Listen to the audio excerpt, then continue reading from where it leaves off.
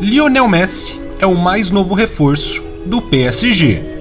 Uma daquelas transferências que só fariam sentido naqueles modos carreiras completamente sem noção que o pessoal costuma fazer por aí, né? Mas que aconteceu na vida real.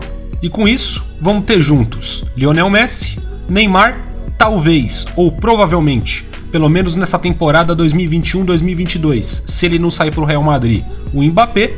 E o que todo mundo já começa a se perguntar é como encaixar todos esses caras no mesmo time.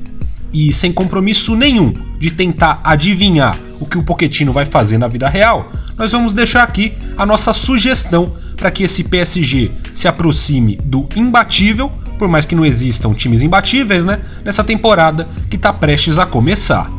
E eu não quero fazer aposta nenhuma aqui não, porque quando eu quero fazer isso, eu vou lá na 1xBet aproveito os 300 dólares que eles dão para quem faz o seu cadastro pelo nosso link, que está embaixo na descrição e também no primeiro comentário fixado nesse vídeo. É só clicar no link, digitar o nosso código Táticas de Futebol e tá pronto. É um bônus de 100% no seu primeiro depósito. Deposite qualquer valor, até 300 dólares pela primeira vez, e eles vão dobrar o seu dinheiro para você mandar ver nas apostas. Beleza? Apostas são lá, corre lá e já vai fazer as suas. Aqui é a nossa sugestão para o Poquetino mesmo. E se você gostar dela, ao final desse vídeo eu tenho uma coisa maluca para te contar. Eu vou te fazer uma perguntinha e se a sua resposta for sim, nós vamos fazer um negócio inédito aqui no Táticas de Futebol. É por isso que você precisa ficar aqui nesse vídeo até o final. E começando, a primeira coisa que a gente precisa entender é que, na nossa visão, esse PSG tem 10 titulares e 3 titulares reservas, titulares que se alternam entre os 11 iniciais a depender do jogo. Titulares: Donnarumma ou Navas, mas aí é goleiro, né? Então tanto faz. Hakimi para fazer a lateral ou a ala direita, Marquinhos e Sérgio Ramos como uma dupla de zaga de respeito provavelmente a melhor dupla de zaga do futebol mundial na atualidade, e o Bernat na lateral, na ala esquerda, um pouco abaixo dos demais titulares, mas já bem razoável também, então tá aqui entre os titulares também. No meio-campo, só dois titulares permanentes. Verratti, mais de armação, mais do passe, mais de distribuição de jogo, e o Vainaldo, mais de infiltração, mais de chegada à frente, mais sendo elemento surpresa, mas eventualmente até precisando ser um pouco sacrificado também, ficando mais preso a depender da 11 peça que vai ser usada como titular nesse time. No ataque, a maior obviedade de todas. Messi, recém-chegado, gênio do futebol mundial, para mim, o maior jogador do nosso século e um dos melhores de todos os tempos. Neymar, grande estrela do PSG já há muitos anos, maior jogador do futebol brasileiro, um cracaço, que foi quem mais se aproximou de Messi e Cristiano Ronaldo ao longo dos últimos anos, e Mbappé, talento francês, atacante que explodiu logo cedo e que temporada após temporada vai se confirmando como um dos grandes nomes do futebol mundial. A esses 10 titulares permanentes se juntam outros 3 que são potencialmente titulares também.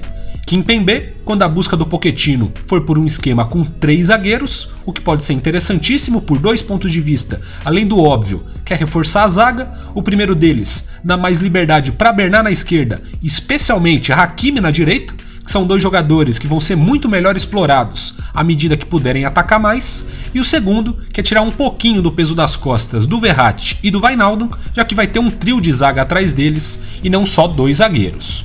Outro titular em potencial, e que, diga-se de passagem, seria o meu, é o Leandro Paredes, um volante que sabe marcar bem, que se posiciona muito bem, tem um passe bem acima da média, que faz lançamentos longos, que chuta de fora da área, um craque para jogar ali como 5 na frente da zaga do PSG e dá um equilíbrio bem interessante para esse time. Por último, Di Maria, e especialmente em jogos contra times menores na Ligue 1, eu imagino que ele seja o mais escolhido. Um jogador de alto nível para jogar aberto, com boa agilidade em espaços mais curtos, que tem uma longa história já no PSG também, então é claro que precisa ser muito considerado aqui. Kimpembe então, 3-4-2-1, Marquinhos, Sérgio Ramos e o próprio Kimpembe na zaga, liberando mais tanto o Hakimi na direita quanto o na esquerda, como volantes, como meio-campistas mais defensivos, o Verratti e o Vainaldum, mas aí, pelo fato de o Kimpembe já estar tá ali atrás, o Verratti vai ter mais liberdade para circular e armar o jogo, e o Vainaldum também vai ter liberdade para infiltrar e aparecer na área de vez em quando, e lá na frente, Messi da direita para dentro, ainda com velocidade, ainda com drible, mas cada vez mais pensador, mais cerebral no seu jogo. Neymar, da esquerda para dentro, já com anos de experiência como um playmaker, como um camisa 10, como um criador de jogadas por dentro, mas agora dividindo mais esse espaço, já que o Messi chegou, então já começa um pouquinho mais aberto desde o início. E como um 9 de extrema explosão, de extrema velocidade, o Mbappé, recebendo bolas tanto do Neymar quanto do Messi, sendo lançado por eles, abrindo espaço para eles e tudo mais. Com Paredes, e repito, seria essa a minha preferência, 4-3-2-1. Só Marquinhos e Sérgio Ramos na zaga, com Kimpembe ficando no banco, à frente deles o Paredes, o que também pode dar alguma liberdade para Hakimi e Bernard nas laterais, mas aí um pouquinho menos, como meio-campistas, aí sim bem mais soltos, o Verratti na armação e o Vainaldo na infiltração, e como trio de ataque, o mesmo funcionamento de antes, com o Messi sendo uma espécie de camisa 10 da direita para dentro, o Neymar também como uma espécie de camisa 10, mas aí da esquerda para dentro, e lá na frente o Mbappé, e por fim o Di Maria, e aí eu já olho com muito mais bons olhos para aquele 4-2-4 que o próprio PSG já usava com o Tuchel em jogos da Ligue 1 ou que até o Guardiola já usou bastante na temporada passada no City. Hakimi na lateral direita, e aí sim bem mais preocupado com as suas funções defensivas, Marquinhos e Sérgio Ramos na zaga, Bernat na lateral esquerda e também bem mais preso, Verratti e Vainaldo como dupla de meio campo, Di Maria bem aberto na direita, sendo bem incisivo de fora para dentro, Mbappé também bem aberto na esquerda, sempre fazendo a diagonal ali em direção à área, e por dentro, dividindo funções de 10 e de 9, Messi e Neymar.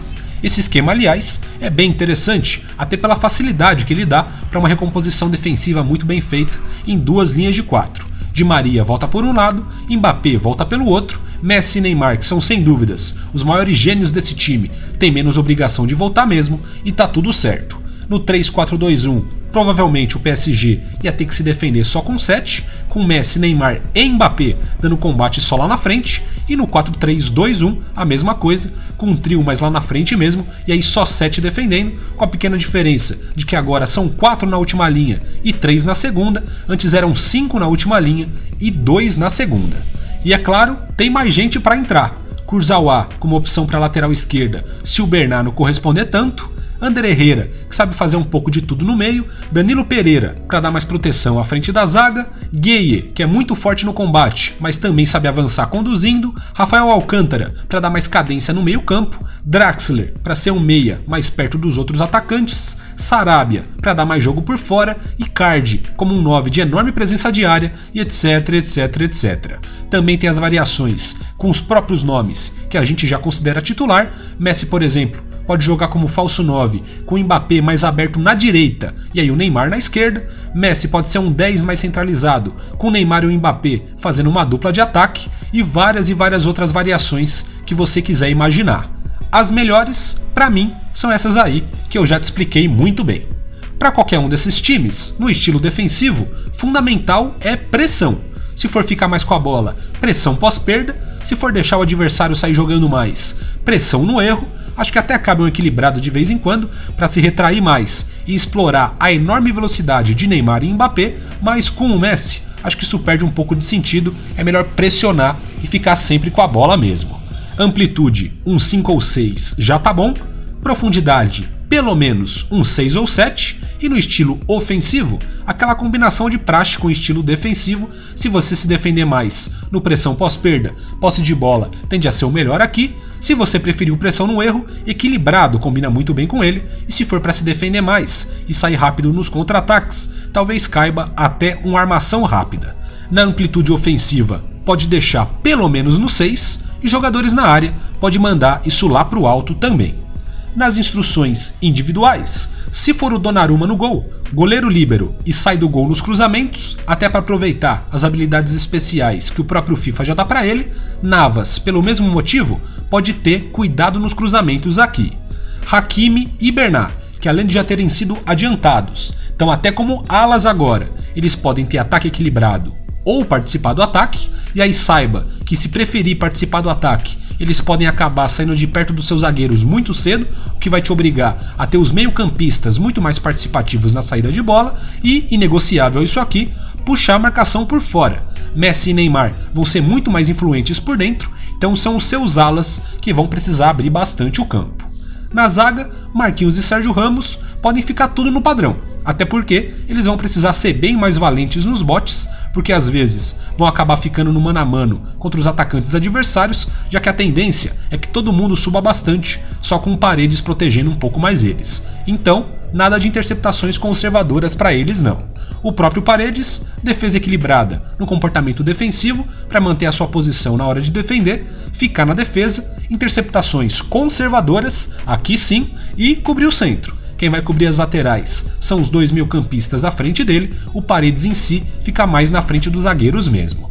Verratti ficar na defesa, fica na entrada da área nos cruzamentos, interceptações normais, cobrir a lateral e para ser um armador desde atrás ali em todos os momentos do seu jogo, deslocamento livre, Vainaldo. Ir ao ataque, e isso é especialmente quando ele joga como terceiro homem de meio campo, porque quando tiver em dois, numa dupla, isso aqui vai ser bem diferente, entrar na área nos cruzamentos para dar vazão a toda a sua vocação goleadora como elemento surpresa, interceptações pelo menos normais, a depender do jogo, cabe até um agressivas aqui, mantém posição e também cobre a lateral.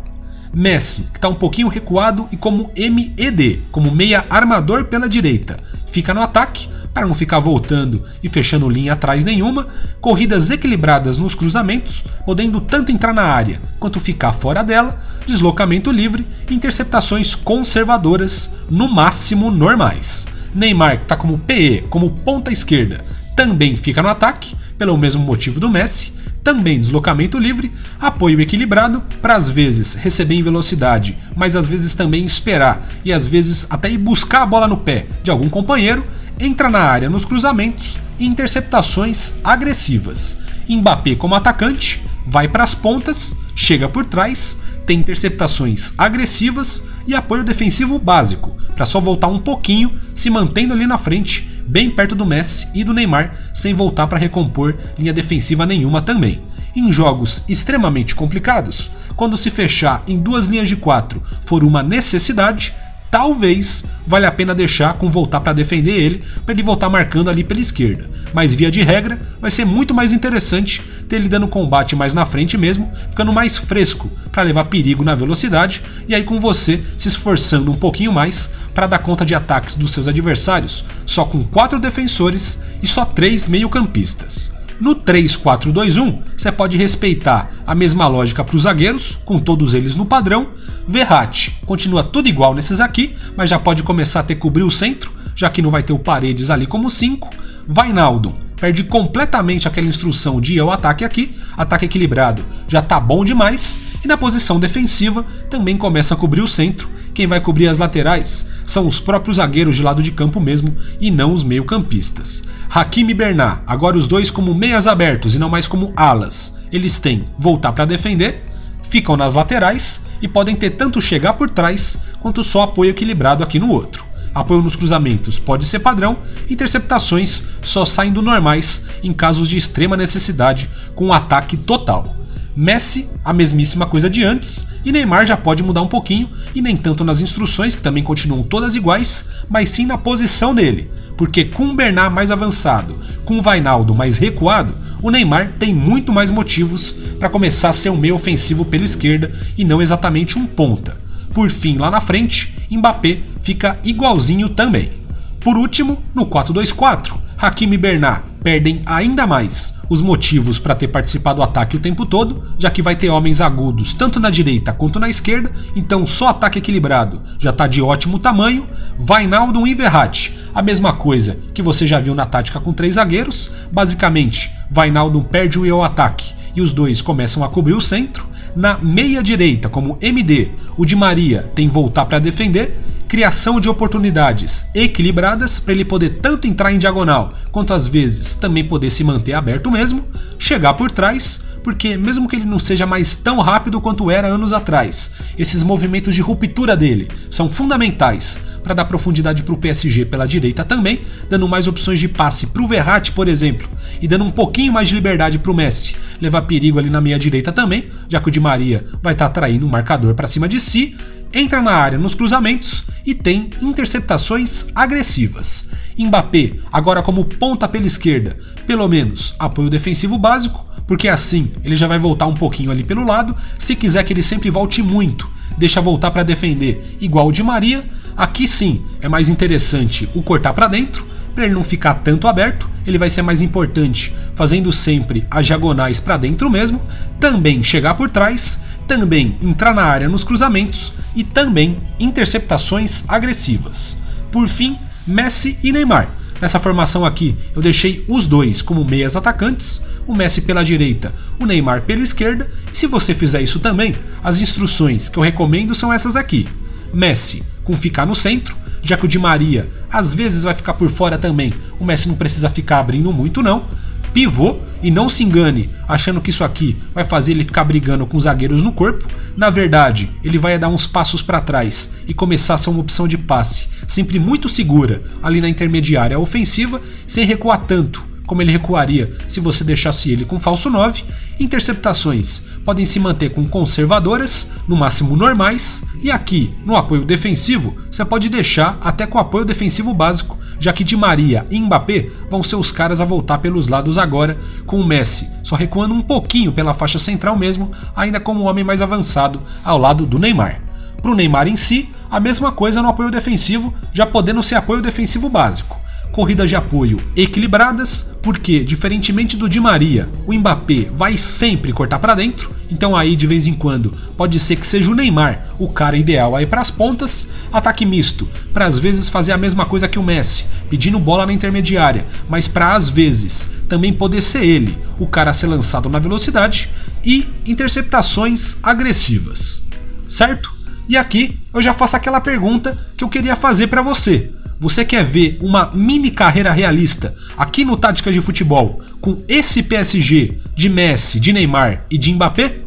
Você gostou desse vídeo e quer ver aqui a primeira mini carreira realista da história do nosso canal? Se sim, fala pra mim aí nos comentários. Eu já montei tudo bonitinho e estamos aqui no dia 1 dessa carreira se vocês gostarem dessa ideia, se fizerem esse vídeo bombar, se vocês encherem os comentários aí embaixo com pedidos pra gente fazer isso, inclusive falando o que é que vocês querem ver essa mini carreira que a gente pode fazer, pode ter certeza que ela vai aparecer por aqui. É coisa de uma semaninha, 10 dias, talvez nem isso, e aí nós já vamos trazer essa novidade aqui para vocês. Beleza? Só não se esqueçam que para isso vocês precisam fazer isso aqui bombar. Então manda ver nos comentários, eu tô sempre lendo tudo e pode ter certeza que eu vou ler o seu também.